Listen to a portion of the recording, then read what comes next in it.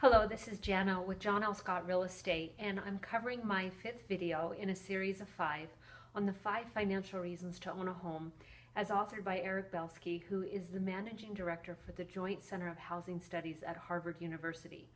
He authored a paper called Home Ownership in America The Dream Lives On, and he covered financial reasons to buy a home.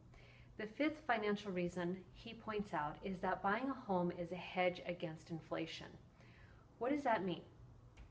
What it means is that if you were to take your hard earned savings, say $100,000 that you were able to save, and you put it in your mattress, in 30 years from now, that money is not going to have the same buying power as today.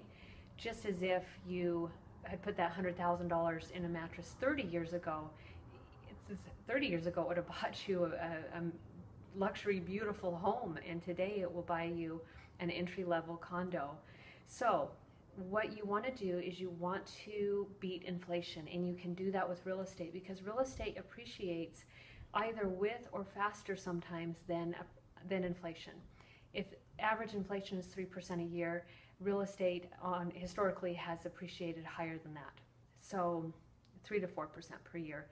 Anyway the um, fifth financial reason is that it's a hedge against inflation Imagine today you bought that you take that $100,000 savings and you magnify it against the four other reasons we've talked about buying a home, financial reasons, and you now use that as a hedge against inflation and your $100,000 is growing faster than inflation. In 30 years from now, your payments on your home are today's payments, but fast forward in time.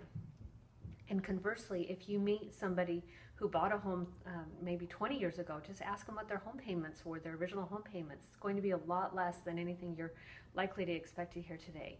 So, the fifth financial reason to owning a home is that it's a hedge against inflation.